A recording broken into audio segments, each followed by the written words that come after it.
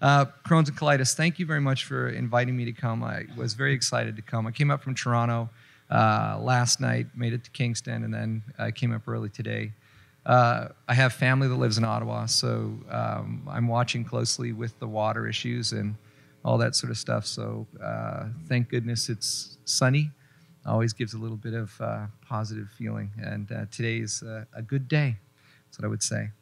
So my talk is prefaced by the fact that I've been called an ambulance chaser. I've been called uh, someone who looks for trouble, and that's all true. Uh, being a psychologist and having a psychology background, um, my interests in health have been all about people who are in difficult places. Um, my focus is on adjustment, uh, how some people do it really well, how other people struggle with it, and how most people just make it work. And my research over the last 20 years has really been about a process of what we call self regulation. Now, that doesn't mean that only you uh, can make the difference um, and that it's all on you to make the difference.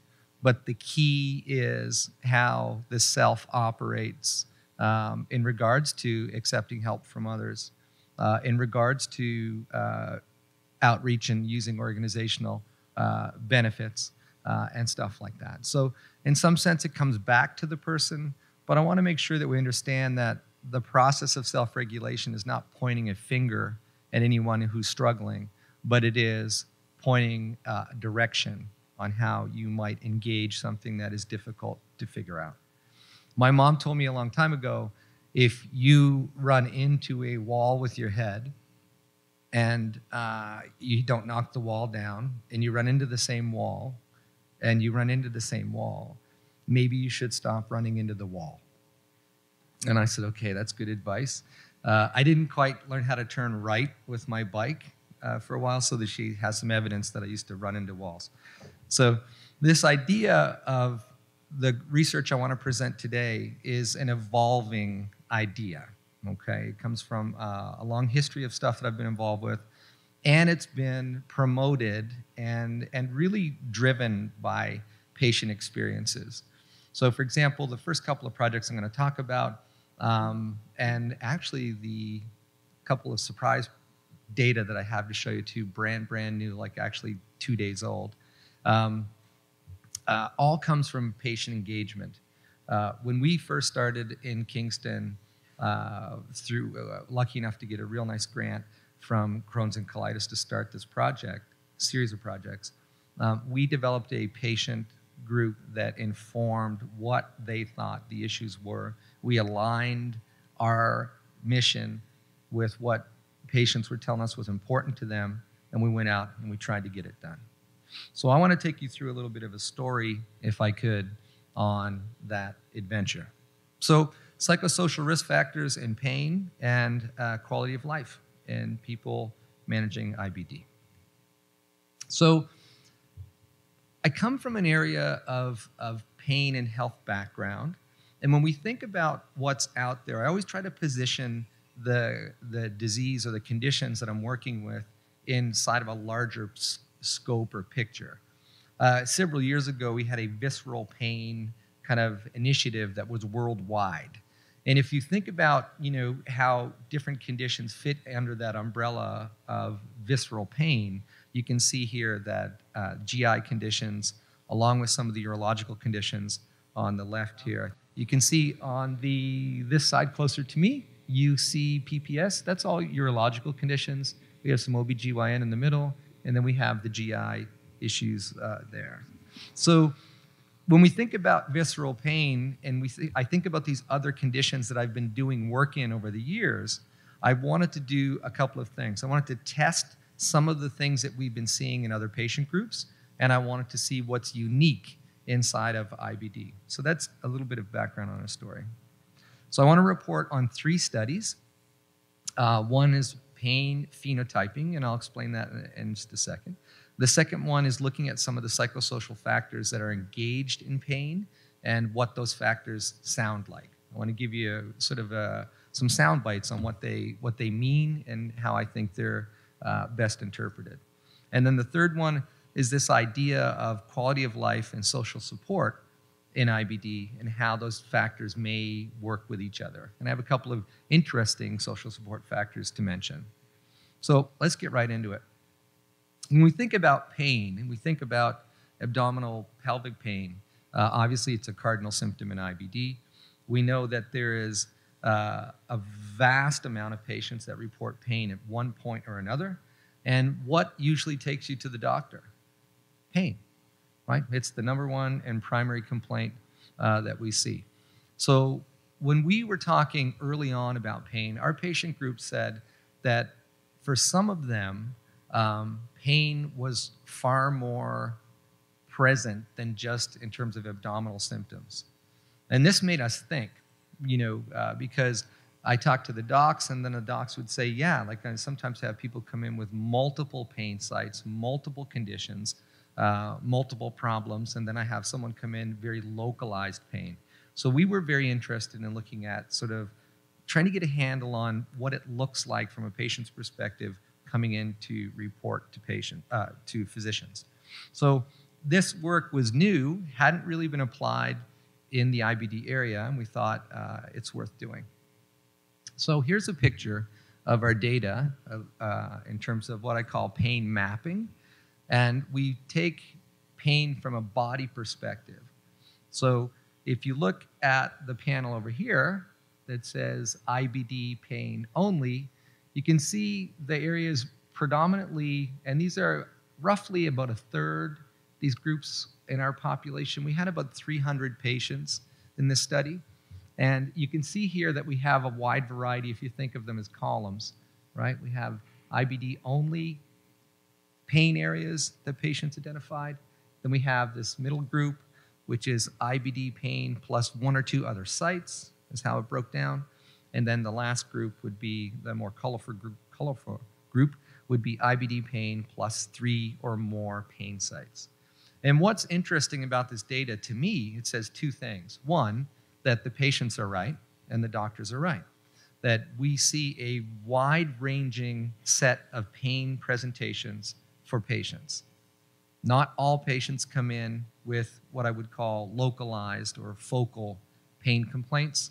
And uh, if you look at the literature on uh, central sensitization and other types of pain mechanisms, and how poorly the gut is innervated or has the right nervous connections, um, you can see that sometimes a, a, strong pain signaling to one part of, or one organ system or one part of the body gets messy and contaminates that's the word i like to use other pain pathways so that you start to have related pain within the area there's different hypotheses that sometimes if these pain go unchecked that they actually create a central sensitization which makes you more prone to other pains that would be related but may not be as prominent if you didn't have that initiator going on and on and on again if your pain is persistent uh, and chronic. So there's a bunch of theories that we don't test with this data, but what this data does show us is that for the first time, our patients are multifaceted. They have pain in a variety of different areas, and we have to be watching for that. So, for example, what would the far right group kind of look like? What would some of those pains be? Some of it is arthritis, some of it is uh, extra abdominal pain, some of it is leg and back pain. We see a lot of that. And you can notice the differences really between the thighs, uh, low back, and hamstrings on these two, on these three slides rather, but on these three columns. So this is really important, I thought, because it sets up a different physical way of acknowledging what patients have been saying that I present with much more pain, and I think sometimes my doctor doesn't pay attention to that. So if you want to be managed holistically, right, they should know, well, I take this for arthritis, I do this, I have these chronic headaches, I have this. I think that's all part of the presentation. So the days of kind of saying, well, I'm just here to look at that pain, right? I, I hope they're, they're slipping away. I'm, I'm, I'm actually quite positive they are. But I think this data is really helpful in that regard, if nothing else. So this is the other part of the story, and I think it, it, it makes intuitive sense because the patients were pretty clear in their descriptions of this. And these are some of the measures, the psychological measures, if you will. So we have pain. We have something over here that is about an anxiety about having pain, which makes complete sense because who likes to have pain? Like nobody I know. So the idea is, you know, when you start to feel pain or you anticipate pain, you get anxious about that. You might ruminate about it or think a lot about it. You might magnify it. My mom always said, make a mountain out of a molehill, you know, because you get really worried about it. And then those two sort of features of thinking can sometimes leave you feeling very helpless. Because if you keep thinking about it, nothing changes, and you keep worrying about it, and it just seems to get worse, then helplessness over time is a feature that people experience with that. You think there's nothing you can do. So that's an important characteristic as well. This is a sort of a screen to look at how your mood is going. We could say depression, uh, and then this is a quality of life measure. So if we look at the different, uh, and I, I apologize for the color here, it could have been a little clearer, but the different groups, remember the columns? These are the columns, and these are the scores and these measures. And we can see there's differences, there's elevations, not in a positive way, on all of these measures across the three groups, which indicates to us pretty clearly that the group of patients who shows up with the greatest amount of pain, on average, reports the greatest amount of distress. That, again, is not rocket science, it just makes sense, but we haven't seen that in the literature yet. And I thought that's what the patients were reporting to us. So that's, uh, I think, an interesting finding. I think something we can help prepare our physicians for um, when you're managing uh, these diseases. So, again, I'll talk probably a little bit more about uh, this little measure here uh, at one point because it has a funny name and it's called catastrophizing. Okay? And I love it. I mean, my wife's a psychologist and she knows I've been working with this term for 25 years.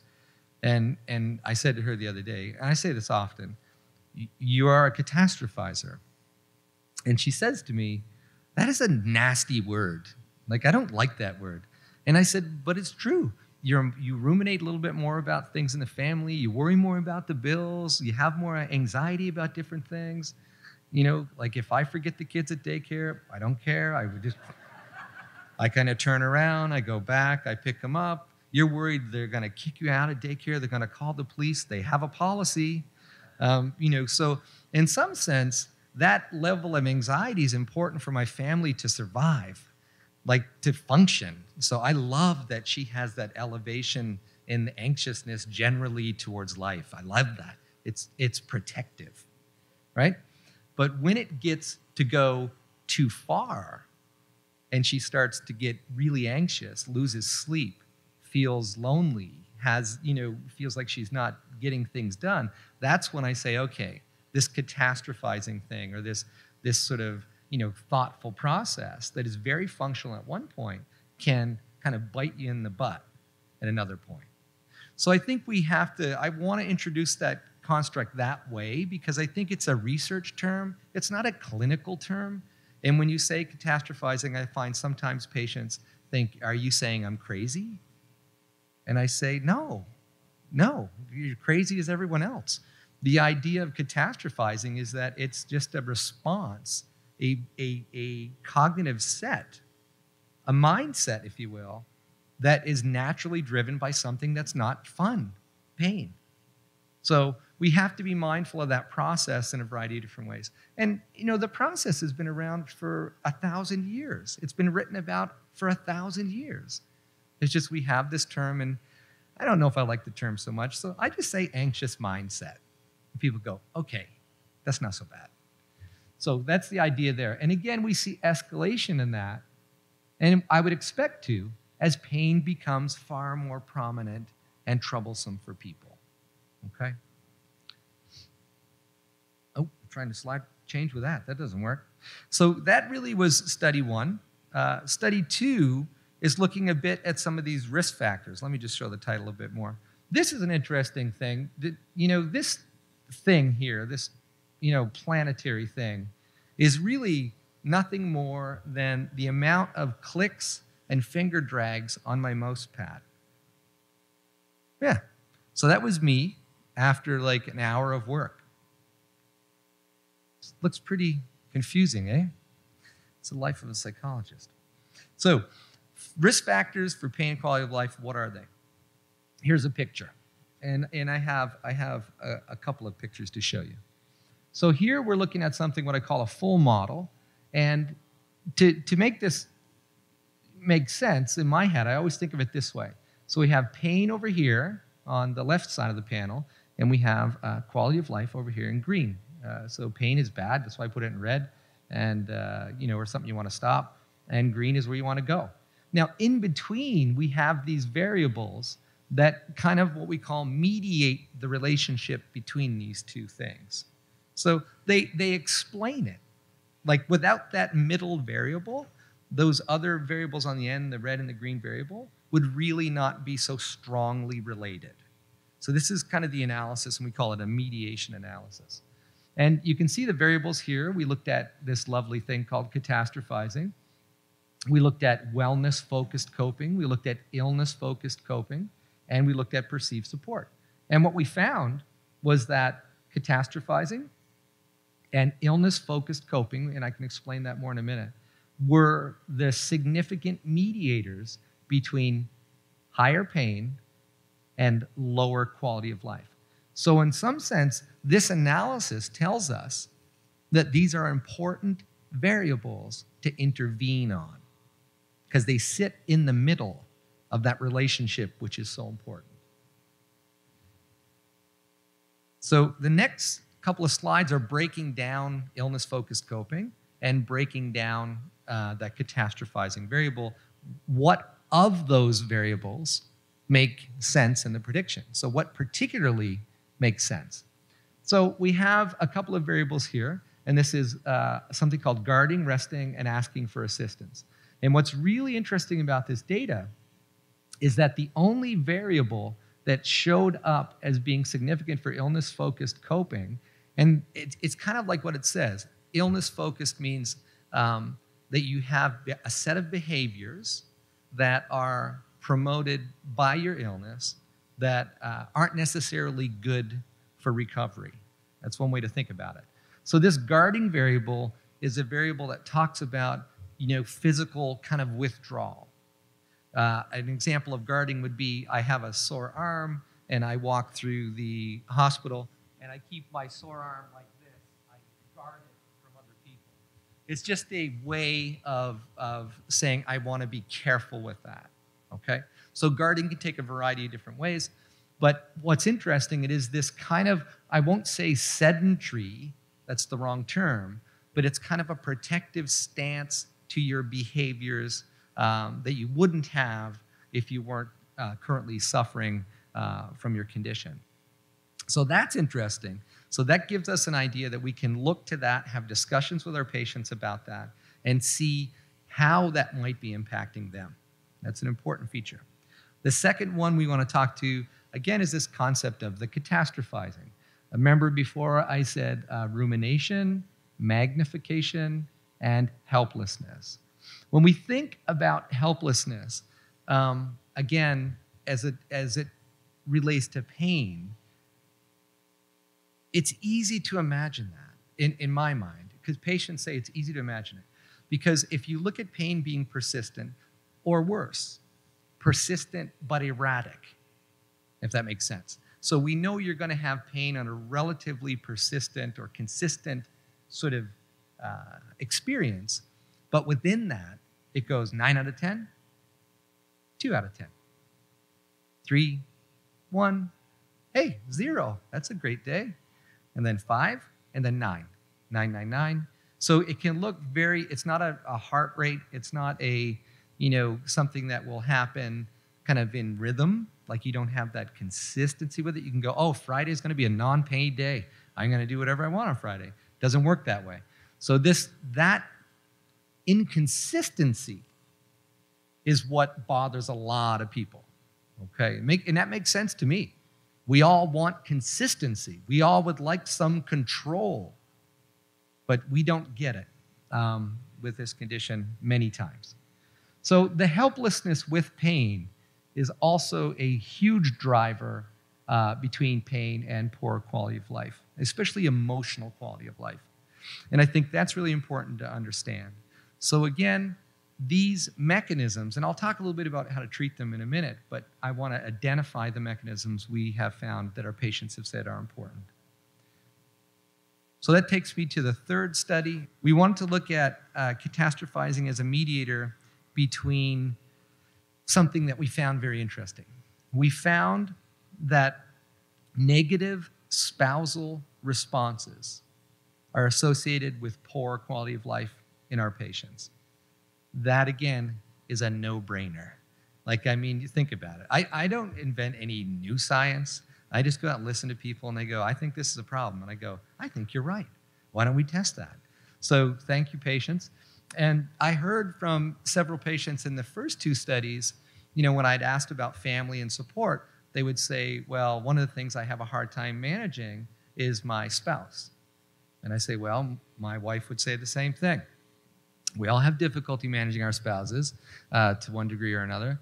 But to be serious, it was, you know, there was sexual issues, there are intimacy issues, there are uh, emotional disclosure issues, there's connection issues. Because many people, when they have a disease or they're suffering through some sort of condition, feel that it's all them. And they don't want to burden somebody else. That's one part of the story. The other part of the story is that if you have some form of dysfunctional communication, and that might be strong language, but dysfunctional communication in some way, that a partner could respond to that in a negative way, where they want to help, but it's like a no go zone, and they're frustrated, and then you end up with two people who love each other being quite angry with each other. So sometimes spousal responses to pain are negative. And in this example, we saw that negative spousal responses are lead obviously to poor quality of life in the patient. And we found that the helplessness that is uh, expressed by the patient is a big predictor of that relationship. So again, it's not a chicken and egg question here. It's kind of like we know that that helplessness towards their pain is part of that tangled kind of relationship issue that patients need to get to. So we need to do a little bit more work there, but we see that catastrophizing, uh, this is an indicator that we need to be thinking more mindfully about that position. Again, we have perceived uh, spousal support being interfered with, again, by the helplessness factor. So this is why I took a little minute to talk about catastrophizing earlier and anxious predisposition so you could understand kind of where the helplessness comes from. This measure of helplessness is driven by pain. Other measures of helplessness or hopelessness could be driven by mood. But this is more of a physical driver. So the argument becomes in terms of pain management, holistic pain management, if we can find markers, targets, intervention points, we want to get them and we want to try to intervene on them. So, I, just a, a, thought when we when we look at the data, like how how should I interpret these data? Well, helplessness I think shows itself in a variety of different ways, and I think in terms of pain management and just overall management of IBD, I think we need to consider. Oh, and I should mention that you know the group that we examined, all those patients, were uh, you know CD and UC patients uh, and they were combined in one data set because they were not different on a lot of these kind of uh, predictors and or variables. So that's one large group. That's why I'm using the term IBD and not making a reference to a specific uh, sample. So helplessness is important. I think that's clear on this data. But I think if I go to the social interactions and the models, this is what really I think some of our new wave is working on. Uh, and I'll talk a little bit about that when I get to the end. And I think it's important for us to understand socially that you know our relationships might be better than they are now if we work on them, or if you're worried or concerned about those, there are people out there that you can talk to for sure. And we know that helplessness is a funny factor because it's a shutdown factor. Helplessness and hopelessness are what I call shutdown factors. And they are not a place where I want you to stay. They're a place that I want you to visit and I want you to leave. And I think they're motivators. And I invite people to see them as motivators. When you recognize helplessness, when you recognize hopelessness, when you recognize that distress, now it's time to do something different. Like mom said, you need to learn to steer the bike to the right. Okay? Patient care needs to know this, and we're actively promoting this research now. So, there's a, a little bit of a model I want to talk about real quick here before I talk about some of our newer research at the end. And this model really fits well. It's an athletic injury model, it is a, a disease model, it is a, a pain model. It's, it's actually pretty cool. And Vlaeyen created this probably ooh, 16 years ago, 17, maybe 20 years ago now. But basically, it takes us through a little bit of experience. And when we think about having an injury or uh, acute pain onset or pain that was acute becoming more chronic, whatever term we want to use for a starting point, we have a starting point, and that leads to pain experience. And there's, a, there's an interesting journey that happens in pain experience. And I like to call it a journey because people that I meet that have pain for some time are tremendously resilient often because it's like you have driven your bike into the wall five or six times and you've learned to drive right. And you've learned, okay, now if I go left here, this will be helpful. This won't end it. This doesn't do this, but it makes it manageable. And this is part of this journey I want to talk a little bit about. So you have pain experience, and then if we think about catastrophizing again, or the helplessness or the, the anxious mindset that we might have when we experience pain, and that's normal.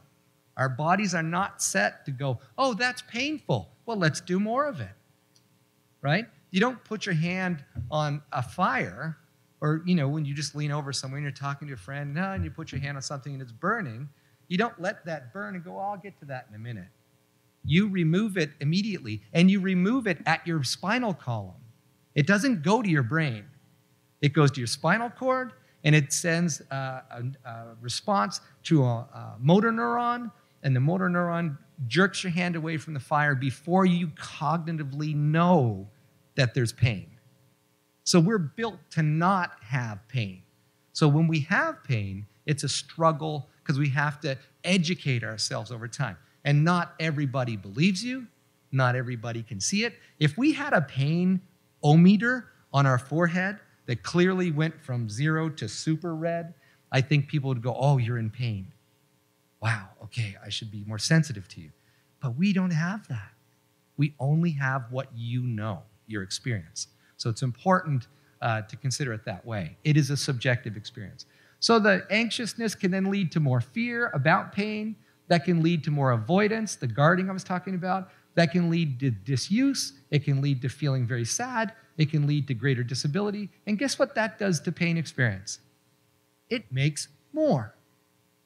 It makes more. Because when you become sedentary, when you become cranky physically, it just gives you that little bit extra. And if you have pain already existing, remember earlier I talked about, you know, your pain experiences like this, and then you have an acute experience, it's still a breakthrough, right? So this pain experience is something that will vary and it can build upon itself. And that's what we get, uh, that's what I want to help destroy.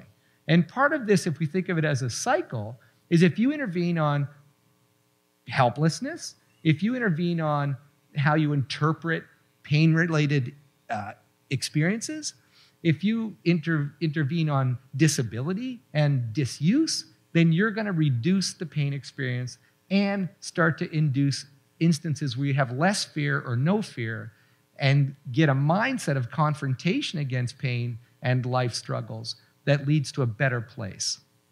And recovery is a term best described by the patient. Okay?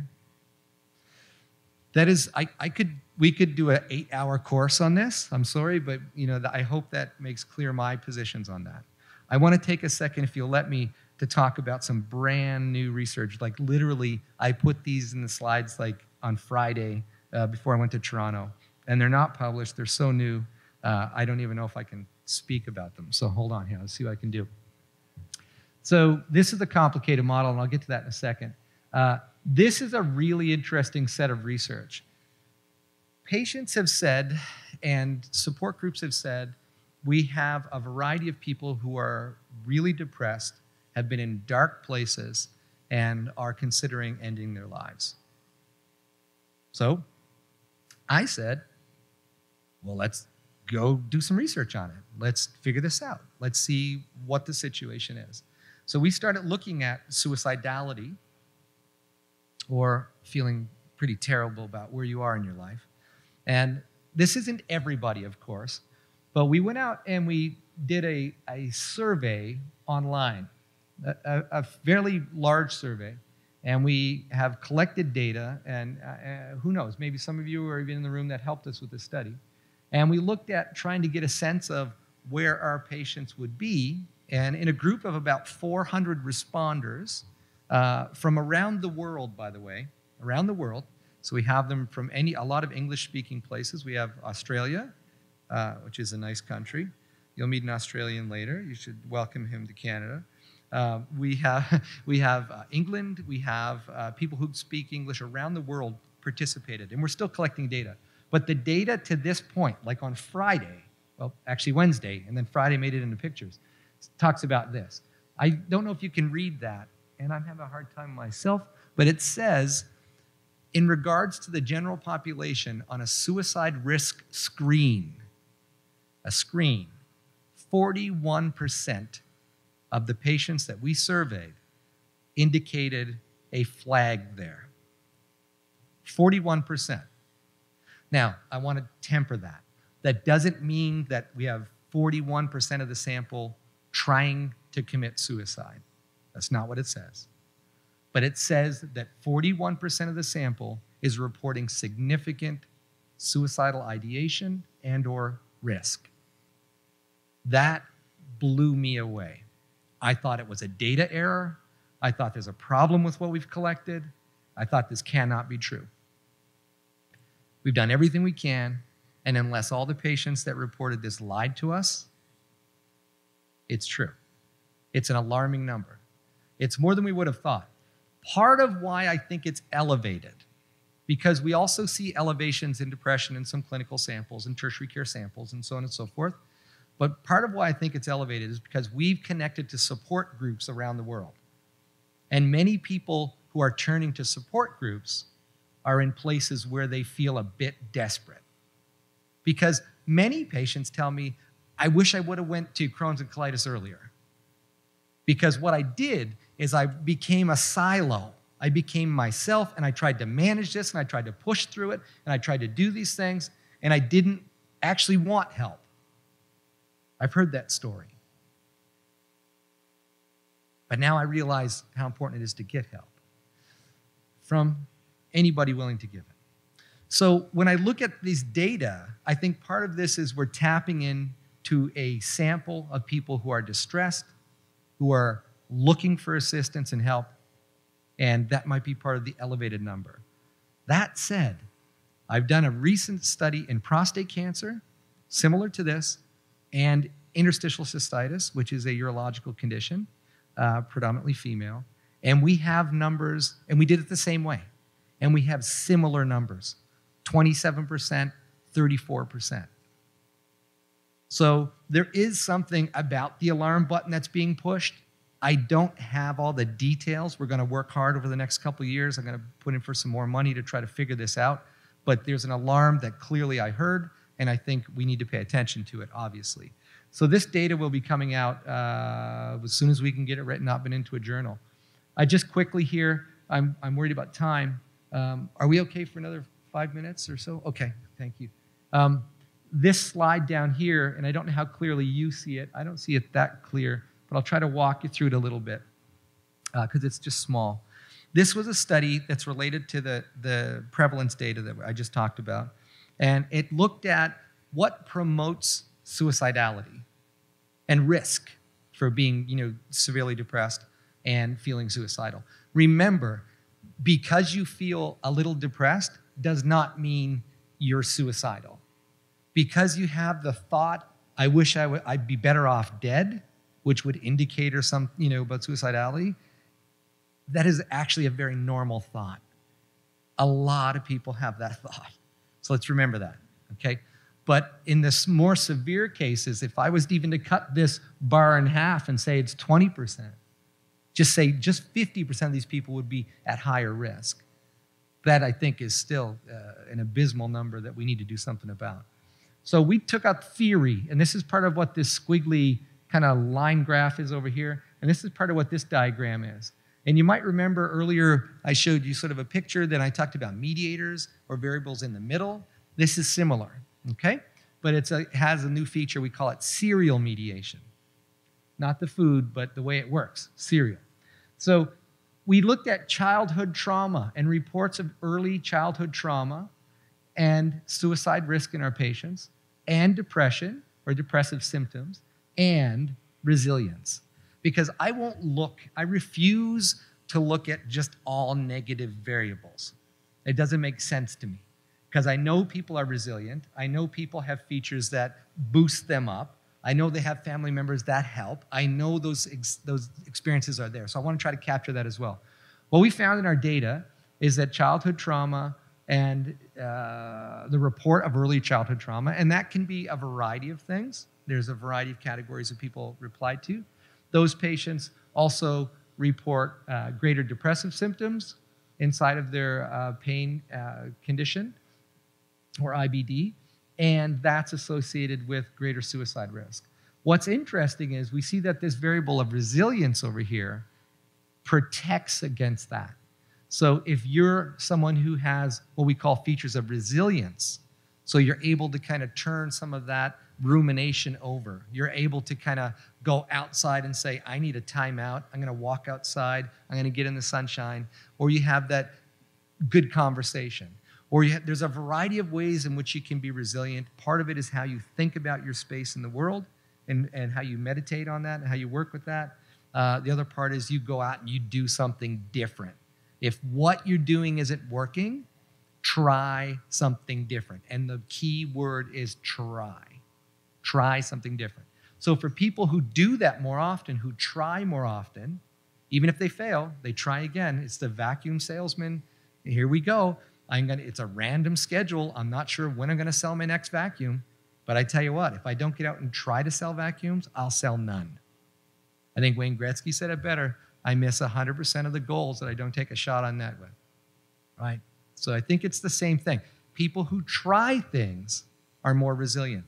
And this resiliency acts as a buffer between depressive, depressive symptoms, uh, childhood trauma, uh, and suicide risk. So that makes sense from what we've seen with our patients, and I want to have that message of strength inside of that picture. Although some people are less resilient, as we found them on the surveys at the moment, that doesn't mean people can't be more resilient. This last graphic that I want to quickly talk about um, is again a serial mediation. It runs out and it really tries to break down, if you will, IBD symptoms. We have another variable in here that a lot of patients have been talking about called shame. And we've been thinking about what that means for patients because patients are, are talking about this in social media contexts. They're talking about it in some emerging research, and we're looking a little bit at that now uh, body pain or average body pain lead to depressive symptoms. That makes sense.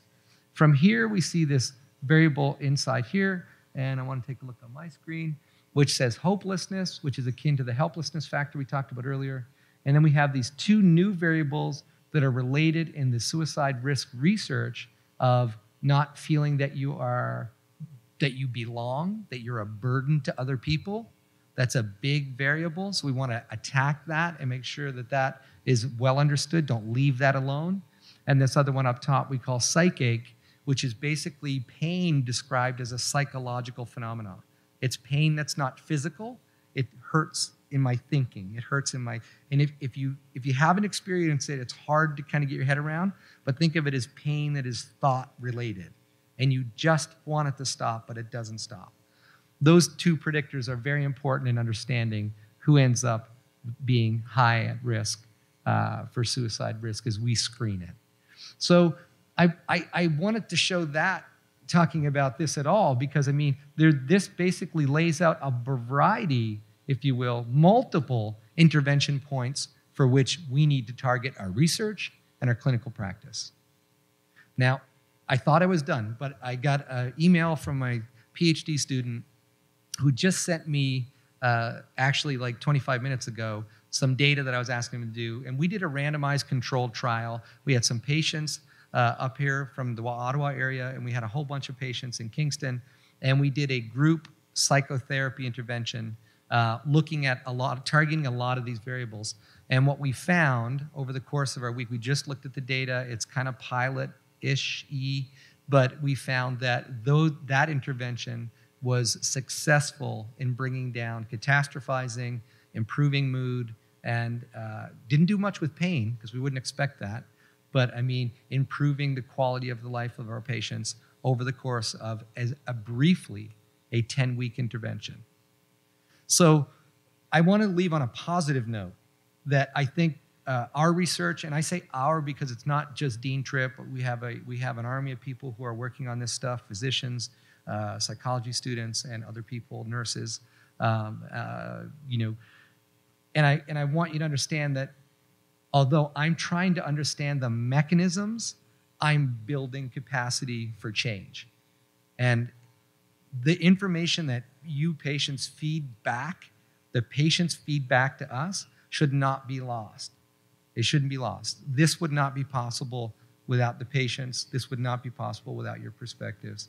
And I want to thank everyone in the room, and I want to extend that thank you to the people out there because I appreciate your work. Thank you very much.